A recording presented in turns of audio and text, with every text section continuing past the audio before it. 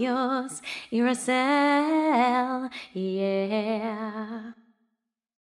One happy birthday dot com.